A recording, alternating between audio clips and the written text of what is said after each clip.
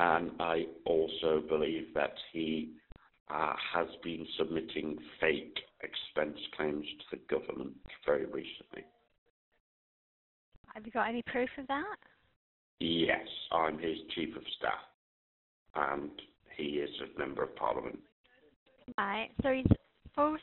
What's he sending false what? Uh, false expense claim to the tunes of thousands of pounds. To who? To IPSA, the governing body for the members of parliament. Sorry, who? Uh, the House of Commons, the UK government. is a member of parliament. So, so what proof have you got that he's sending these false expense claims? Uh, I'm the person that inputs his claims for him. And what's your name, please? My name is Gareth Arnold. I'm his chief of staff. And who's your employer? Uh, Jared O'Mara MP. Okay. So what constituency does he cover? Uh, Sheffield Hallam. Okay, so what I'm going to do, I'm going to get an officer out to speak with you. Yeah. So when are you available? Today, all day.